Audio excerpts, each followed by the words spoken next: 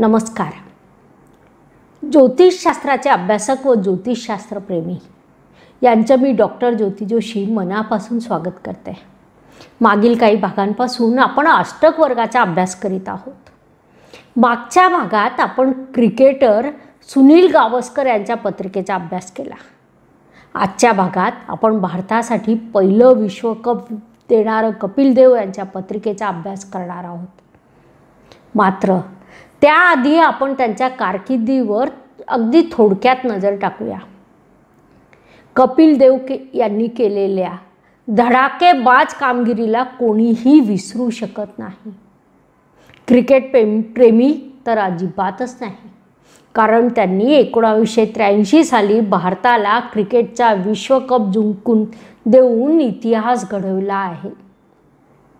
त्यावेळी भारतीयांसह संपूर्ण जगासाठी ही आश्चर्याची बाब होती. अष्टपैलू क्रिकेटपटू अशी ओळख असलेल्या कपिल देव यांचा जन्म सहा जानेवारी एकोणावीसशे साठ रोजी चंदीगड येथे झाला. सुरुवातीला त्यांनी देशांतर्गत क्रिकेट गाजवून भारतीय संघात स्थान प्राप्त केलं आणि नंतर मग तिथे मागे वळून त्यांनी कधीच पाहिलेलं नाही. एक ऑक्टोबर एकोणीसशे अठ्ठ्याहत्तर रोजी. त्यांनी पाकिस्तान विरुद्ध एक दिश दिवसीय सामन्यांमध्ये पदार्पण केलं. त्यात त्याच दौऱ्यामध्ये सोळा ऑक्टोबर एकोणीसशे अठ्ठ्याहत्तर रोजी पाकिस्तान विरुद्ध क कसोटीत पदार्पण केलं.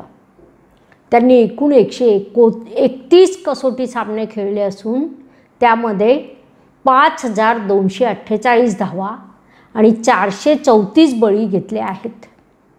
बळींचा हा त्यावेळी एक विक्रम होता. तसेच कपिल देव यांनी एकूण दोनशे पंच्याहत्तर सामने खेळले असून त्यामध्ये सुद्धा तीन हजार सातशे त्र्याऐंशी धावा आणि दोनशे त्रेपन्न बळी बळी घेतले आहेत. एकोणावीसशे त्र्याऐंशीच्या विश्वचषका चषकात कपिल देव यांनी भारतीय संघाचे नेतृत्व करताना तीनशे तीन धावा आणि बारा बळी घेतल्या होत्या. झिम्बाब्वे विरुद्ध सामन्यात त्यांनी तब्बल एकशे पंच्याहत्तर धावांची आतिषबाजी करत विक्रम नोंदविला होता. ज्यामुळे संपूर्ण जगाचे त्यांच्याकडे व भारतीयाकडे भारतीयांकडे लक्ष वेधल्या गेलं. कोणत्याही खेळाडूसाठी आरोग्य सुदृढ राहणं खूप महत्त्वाचं असतं. तरच त्याला संघामध्ये स्थान प्राप्त करता येऊ शकतं. कपिल देव आपल्या सोळा वर्षाच्या कारकिर्दीत कधीही दुखापतीमुळे संघाच्या बाहेर राहिलेले नाहीत. हे विशेष आहे. चौऱ्याण्णवमध्ये क्रिकेटमधून निवृत्ती घेतल्यानंतर ते दोन वर्ष राष्ट्रीय क्रिकेट अकादमीचे अध्यक्ष होते. तसेच ऑक्टोबर नव्याण्णव ते ऑगस्ट दोन हजारपर्यंत ते भारतीय क्रिकेट संघाचे प्रशिक्षक देखील होते. त्यांच्या अतुल्य अशा कामगिरीसाठी. त्यांना भारत सरकारतर्फे अर्जुन पुरस्कार पद्मश्री पद्मभूषण या पुरस्कारांनी सन्मानित करण्यात आले आहे. कपिल देव यांनी पुस्तकेही लिहिलेली असून ते क्रिकेट समालोचकाचेही काम करतात. कपिल देव यांच्या पत्रिकेचा अभ्यास करताना आपण सर्व प प्रथम वैदिक पद्धतीने लग्नकुंडली राशीकुंडली यांचा अभ्यास करणार आहोत. वैदिक पद्धतीने पत्रिका सोडवल्यानंतर ती अष्टक वर्गात कशी प्या पाहावी याचा आपण अभ्यास करू. क्रिकेट हा खेळ म्हटला की त्यासाठी विशिष्ट स्थानं आणि विशिष्ट ग्रह महत्त्वाचे असतात. स्थानांचा आपण जेव्हा विचार करतो तेव्हा एक तीन सहा दहा आणि अकरा या पाच स्थानं बघावी लागतात. प्रथम स्थान म्हणजे जातकाचं स्वतःचं स्थान. यावरून जातकाच्या व्यक्तिमत्वाचा बोध होत असतो. तृतीय स्थानावरून कर्तृत्व पराक्रम यांचा बोध होतो. षष्ठ स्थान म्हणजे शत्रूवर किंवा स्पर्धकांवर विजय मिळवण्यासाठीचे स्थान होय. दशम म्हणजे कर्मस्थान आणि एकादश म्हणजे लाभस्थान होय. ज्योतिषशास्त्रातील नवनवीन माहितीसाठी चॅनलला सबस्क्राईब करा व क्लिक करा आणि astrologer doctor Jyoti Joshi app download करा. यशस्वी क्रिकेटर म्हटला म्हणजे लाभ अपरिहार्य आहे. मात्र कर्म केल्याशिवाय लाभ प्राप्त होऊ शकत नाही. म्हणजे योग्य ते कर्म केल्याशिवाय यशस्वी क्रिकेटर हो होता येऊ शकत नाही. मग कितीही क्वालिफिकेशन असलं तरी मैदानावर जेव्हा एखादा खेळाडू उभा असतो तेव्हा त्याच्यातील पराक्रम शत्रूवर मार कर मात करण्याची त्याची वृत्ती यात खरं यश दडलेलं असतं. म्हणूनच एक तीन सहा दहा आणि अकरा ही पाच स्थानं कोणत्याही खेळाडूसाठी अत्यंत महत्त्वपूर्ण ठरतात. तसेच या स्थानांसोबत काही ग्रह देखील महत्त्वाचे ठरतात. त्या ग्रहांचा आपण जेव्हा विचार करतो तेव्हा सर्वप्रथम आत्माकारक रवी मंगळ हा कर्तृत्वाचा कारक या दोन प्रमुख ग्रहानंतर महत्त्वाचा ठरतो तो म्हणजे राहू. राहू हा ग्रह जेव्हा पत्रिकेत द्यायला उठतो तेव्हा भरभरून देतो. ज्या पत्रिकांमध्ये राहू शुभ असतो त्यांना राहूच्या महादशेत भरभरून शुभ फळ प्राप्त होतात. तसेच राहू जर उपचय स्थानात असेल तर त्याचा खूप मोठा फायदा जातकाला होत असतो. यानंतरचा प्रमुख ग्रह म्हणजे चंद्र. कारण चंद्र हा मनाचा कारक ग्रह आहे. खेळाडू हा मजबूत मनाचा असायला हवा.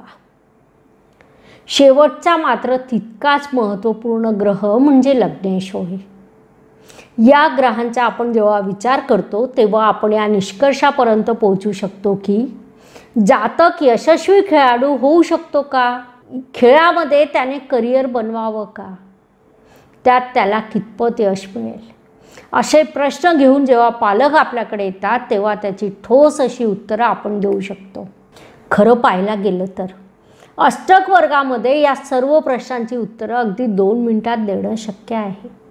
मात्र आपल्याला शॉर्टकट मार्गाने नव्हे तर सखोल असा अभ्यास करायचा आहे. म्हणूनच आपण पत्रिका अभ्यासत असताना सरळ अष्टक वर्गावर न जाता आधी वैदिक पद्धतीने पत्रिका बघणार आहोत. त्यातून जे निष्कर्ष निघतील ते अष्टक वर्गात पडताळून बघणार आहोत. खूप वेळेला असं होतं की वैदिक पद्धतीमध्ये एखादा विषय आपल्या लक्षात आलेला नसतो कारण त्याला अनेक उपनियम असतात. आज आपण कपिलदेव यांची पत्रिका घेतली आहे. ही पत्रिका बघत असताना प्रथम दर्शनी दशमेश असलेला चंद्र निचीचा दिसतो. मग वैदिक ज्योतिषशास्त्रात एक एक नियम दिसतात. त्यात नु मुख्य नियम येतो की चंद्राचा नीचभंग झालेला आहे का? तर हो या पत्रिकेत चंद्राचा नीचभंग झालेला आहे. चंद्र वृश्चिकेत आहे आणि त्याचा स्वामी मंगळ स्वराशीत आहे.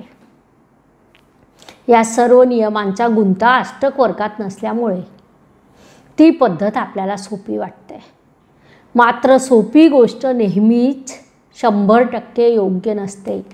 त्यासाठी तुम्ही आधी वैदिक पत्रिका पहा आणि मग तिथे जा.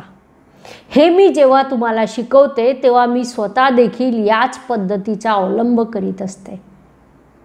तर आता आपण कपिल यांच्या पत्रिकेचा अभ्यास करूया. ही तूळ लग्नाची आणि वृश्चिक राशीची कुंडली आहे. आपण आधी जसं म्हटलं की स्थानं बघावीत आणि ग्रह बघावेत. त्यानुसार तृतीय हे पराक्रम स्थान तिथे भाग्येश लाभेश आणि पंचमेश या तीन ग्रहांची युती झालेली आहे. ती पराक्रमात वृद्धी करीत आहे. भाग्येश स्वतः उठून पराक्रमात आलेला असल्यामुळे कपिल देव यांनी आयुष्यामध्ये भाग्याने पराक्रम गाजवलेले आहे.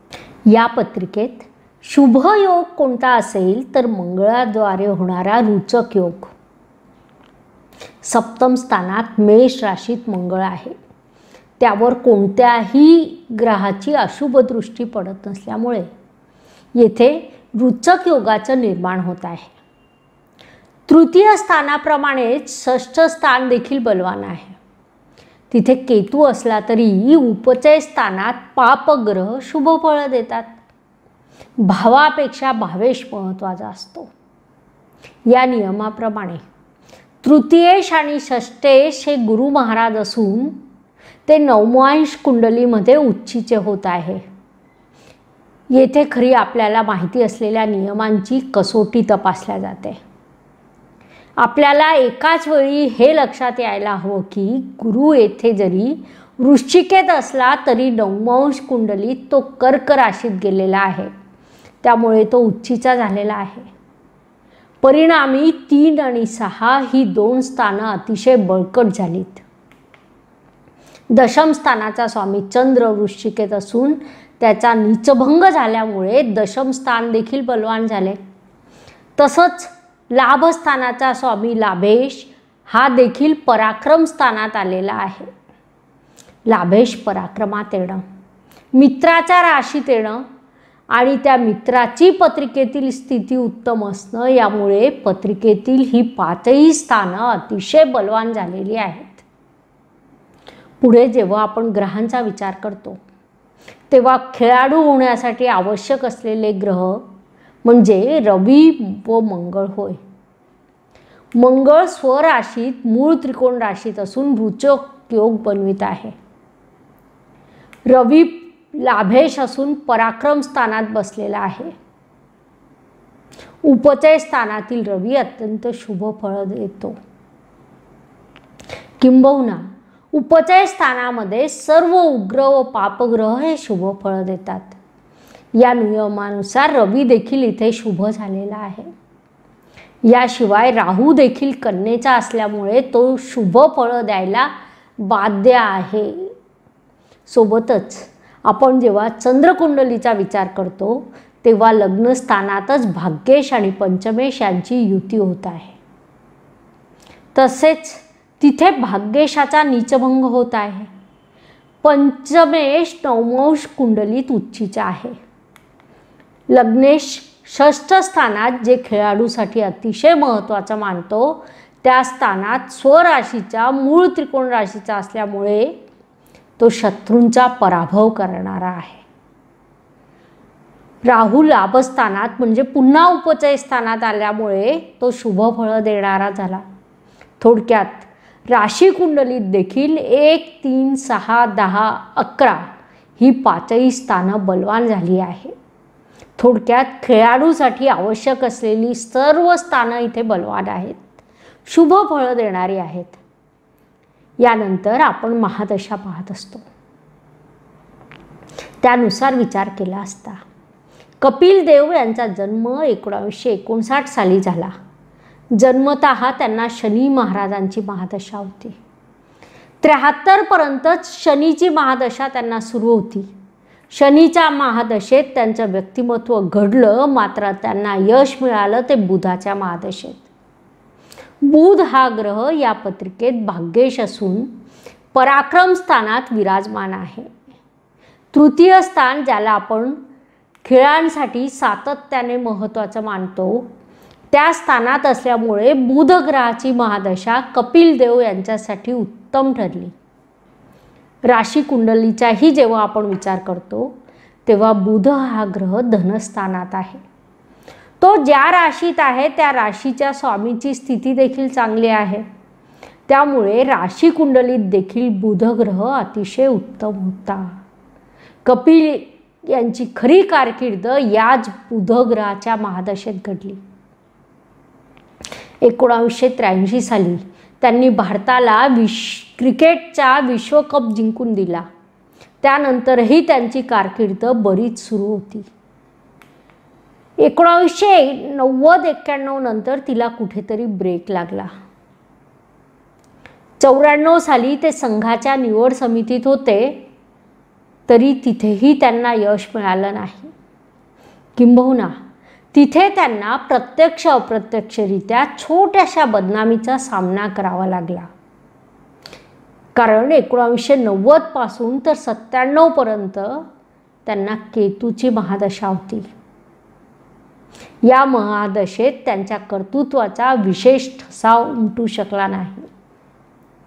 केतूनंतर त्यांना शुक्राची महादशा सुरू झाली. तेव्हा कपिल देव व्यवसायात आणि क्रिकेटमध्ये देखील एका मोठ्या पोस्टवर यशस्वी म्हणून पुन्हा पुढे आलेत. थोडक्यात त्यांना बुध आणि शुक्र या दोन ग्रहांच्या महादशा चांगल्या गेल्या. केतूच्या महादशेत त्यांचं करिअर त्यांचं कर्तृत्व कुठेतरी डावलल्या गेलं. अपयशाचा सामना तिथे त्यांना करावा लागला किंबहुना अपमान देखील पचवावे लागले. हे सगळं केतूच्या महादशेत घडलं. हे झालं वैदिक पद्धतीनुसार. कपिल देव यांच्या पत्रिकेचं विश्लेषण. मात्र आपण अष्टक वर्गाचा अभ्यास करीत आहोत. अष्टक वर्गानुसार जेव्हा आपण कपिल देव यांच्या पत्रिकेचा विचार करतो तेव्हा अतिशय सोपी प्रक्रिया असते. अष्टक वर्गाचे तीन सोपे नियम आहेत. त्या नियमांचा आपण जेव्हा विचार करतो प्रथम तृतीय षष्टम दशम आणि एकादश. या पाच स्थानांना मिळून सर्वाष्टक वर्गामध्ये कमीत कमी एकशे चाळीस बिंदू असावेत. कपिल देव यांच्या पत्रिकेत प्रथम स्थानाला सदोतीस तृतीय स्थानाला पंचवीस षष्ठ स्थानाला पंचवीस दशम स्थानाला सत्तावीस आणि लाभ स्थानाला बत्तीस म्हणजे एकूण एकशे शेहेचाळीस बिंदू आहेत. याचा अर्थ आपला पहिला नियम इथे पूर्ण होत आहे. दुसरा नियम म्हणजे रवी आणि मंगळ यांना त्यांच्या भिन्नाष्टकामध्ये असलेले बिंदू. म्हणजे रवी भिन्नाष्टक जेव्हा आपण पाहतो तेव्हा तिथे या पाच स्थानांना असलेले बिंदू त्यात प्रथम स्थानाला चार तृतीय स्थानाला पाच षष्टाला चार दशमाला सहा लाभाला पाच असे एकूण चोवीस बिंदू आहेत. खेळाडूला यशस्वी होण्यासाठी जे कमीत कमी अठरा ते वीस असायला हवेत. कपिल देव यांच्या पत्रिकेत रवी भिन्नाष्टकात चोवीस एवढे भक्कम बिंदू असल्यामुळे त्यांना तिथे यश स्पष्ट आहे. त्यानंतर महत्त्वाचा ग्रह म्हणजे मंगळ. मंगळाचा जेव्हा आपण विचार करतो तेव्हा भिन्नाष्टक वर्गामध्ये प्रथम स्थानाला सहा तृतीय स्थानाला तीन षष्टम स्थानाला दोन दशम स्थानाला तीन आणि एकादश स्थानाला चार असे एकूण अठरा गुण मिळालेले आहेत. म्हणजे आपला जो नियम आहे की कमीत कमी अठरा गुण असायला हवेत तो देखील इथे पूर्ण होत आहे. थोडक्यात आपले तीनही नियम अष्टक वर्गानुसार पूर्ण होत आहे. बऱ्यापैकी बिंदू त्यांना या ग्रहांनी आणि स्थानांनी दिलेलं असल्यामुळे त्यांचं यश हे निश्चितच होतं. अष्टक वर्गाच्या या मालिकेत अजून विविध विषयांचा आपण अभ्यास करणार आहोत. हा अभ्यास करीत असताना विविध पत्रिका डोळ्यासमोर ठेवणार आहोत. आपल्याला आमचा व्हिडिओ कसा वाटला? तसेच आपल्या काही सूचना असतील तर आम्हाला कमेंट सेक्शनमध्ये अवश्य सांगा. यूट्यूबची कार्यप्रणाली ही मुख्यतः चॅनलला लाईक सबस्क्राईब यावर चालते. म्हणून please like share and subscribe the channel आणि हो बेल आयकॉन दाबायला विसरू नका. धन्यवाद शुभम भवतू.